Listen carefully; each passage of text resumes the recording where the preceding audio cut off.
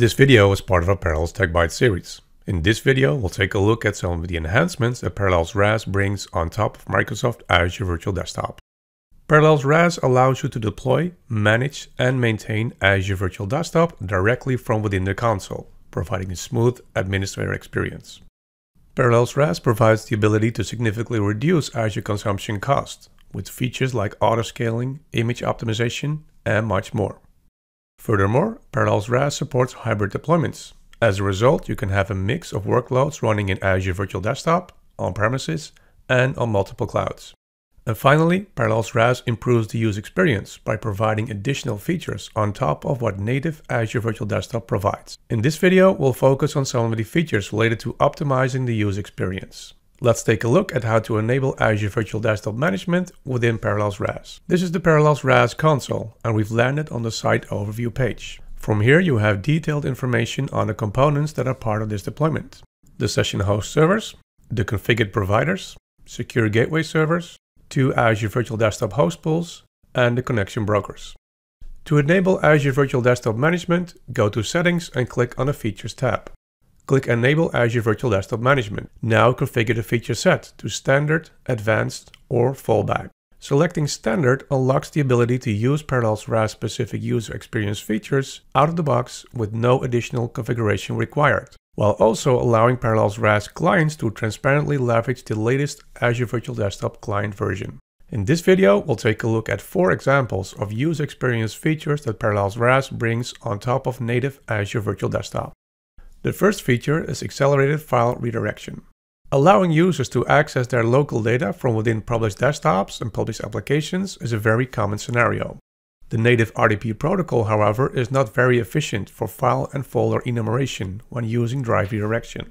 This often leads to slow and sluggish user experience, especially when trying to enumerate a folder with a large number of files.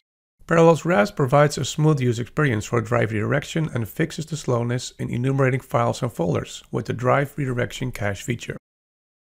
To enable accelerated file redirection, go to Policies and open the policy you want to use. Go to Disk Drives and Folders. From here you can enable Allow Redirection. Select specific drives to redirect and optionally enable redirection of drives that are plugged in later. Now configure the cache. You can set it to Disable, Enable, and Fast Mode. Fast Mode provides the best user experience when using the Parallels RAS client for Windows. Now switching to the end user. Let's take a look at a side-by-side -side comparison. Left-hand side, we have the native Azure Virtual Desktop experience. Right-hand side, we have Drive Redirection Cache enabled. On both sides, we open Windows Explorer as a published application using the Parallels RAS client.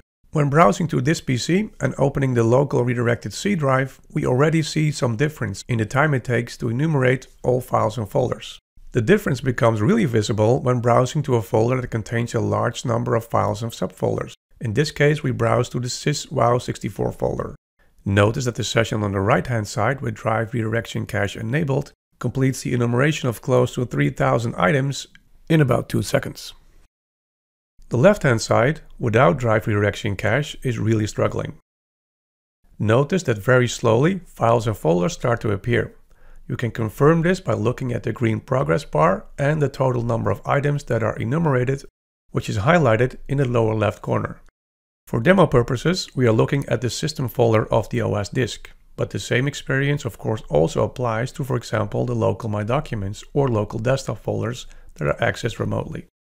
The enumeration process on the left-hand side is now ready.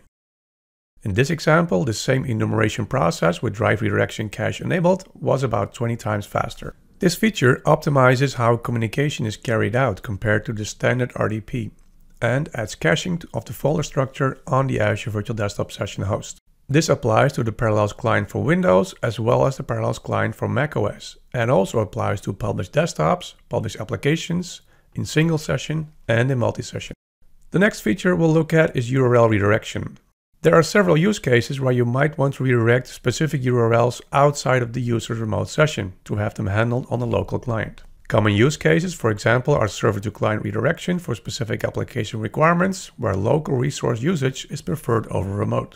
To enable URL redirection, go to Farm, Settings, and open up the URL redirection tab. Note that we have already added two URLs here.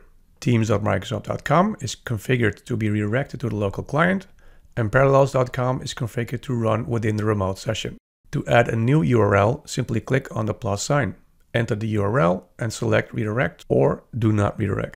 Switching to the user experience.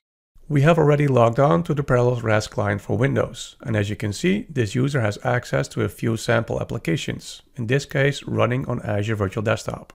To demonstrate URL redirection, let's open up WordPad as a remote app.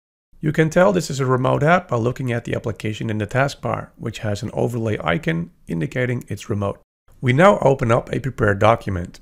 This document has two hyperlinks. A link to parallels.com, which based on our configuration should not be redirected, and a link to teams.microsoft.com, which based on our configuration should be redirected to the local client. If we click on the parallels.com link, a browser within the remote session is opened. This Edge browser is running as a remote app. Again, you can confirm this by looking at the overlay icon in the taskbar. So in this case, we leverage the resources on the session host server remotely. If we click on the teams.microsoft.com link, the local browser is being used. Note that there's no overlay icon in the taskbar. So in this case, we leverage the resources on the local client. Let's now close all of these windows and take a look at a more common scenario. Here we have Outlook running as a remote application, and we have just opened an email invite containing a link to a Teams call. Redirection is enabled for teams.microsoft.com. And as a result, clicking on the link inside Outlook results in opening the local browser, allowing us to use the resources available on the local client. Feature number three we'll take a look at is launching local applications. Parallels RAS includes features to launch locally installed applications from within the remote session. To configure this, open the RAS console and go to Publishing. Note that we have a folder AVD here with a subfolder called Local Apps. In there, we have a published application. Go to the Application tab. For the target, browse to 2XRemoteExec.exe. And for the parameter, provide the application you want to launch from within the local client. For this demo, we configured this to be Notepad, but it can be any application available on the local client. Now switching to the user side. We are already logged on. Let's first open Notepad on the remote session. We can confirm this is a remote application by looking at the overlay icon visible in the taskbar. Now let's launch the same application, but this time locally. Go to Local Apps and launch the published application. For demo purposes, we are showing this question dialog here.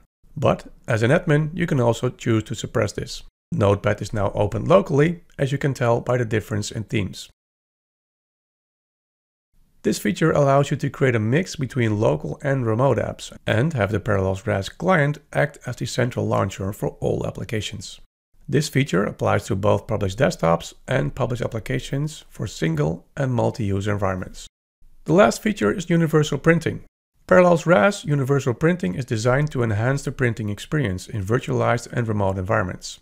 It provides advanced printing capabilities out of the box and offers a great user experience. Features include compression, multifunction support, increased performance, and an optimized user experience.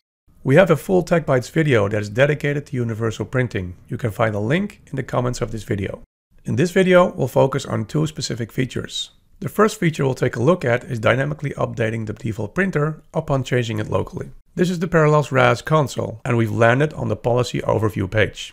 Open the policy that's being used and go to printing. Note that the current selection is to redirect all local printers. You can change that to a subset or to only the default printer. Select default only. Next, click on change default printer settings. In here, you can change the default printer behavior. Make sure that the option to update remote default printers based on local changes is selected.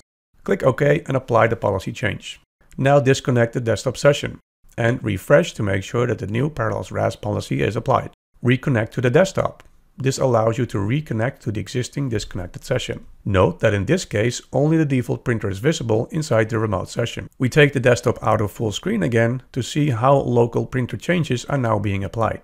Here is the local printer dialog again. In this case, we make the newly added printer the local default. As you can see on the left hand side, this is instantly applied in the remote session as well. This allows organizations to apply policies to only redirect local printers, while still allowing users to change the local printer and have it available inside the remote session without having to log off and log on again. The second feature is optimizing the time it takes to recreate redirected printers upon session reconnect. Here we are comparing two user sessions. The session on the left hand side is based on Microsoft native EasyPrint, and the session on the right hand side uses Parallels RAS Universal Printing. Let's consider a scenario where the user has disconnected the session, for example to switch physical locations, or the user just came back from a lunch break. In both sessions we are going to reconnect to that already existing session that is in disconnected state. Note that within one second, Parallels RAS on the right was able to make all redirected printers available again in the remote session. The session without Parallels RAS Universal Printing took about 10 seconds, which makes RAS Universal Printing about 10 times faster. A common scenario where this is very useful is when dealing with third-party applications that require a printer to be available prior to launching the application. And this concludes the video on enhancements that Parallels RAS brings on top of Microsoft Azure Virtual Desktop. Recall from the beginning of this video that selecting the standard feature integration now unlocks the ability to use Parallels RAS specific user experience features out of the box with no additional configuration required, while also allowing the Parallels RAS client to transparently leverage the latest AVD client version. For more content, subscribe to our channel and browse the Parallels TechByte series.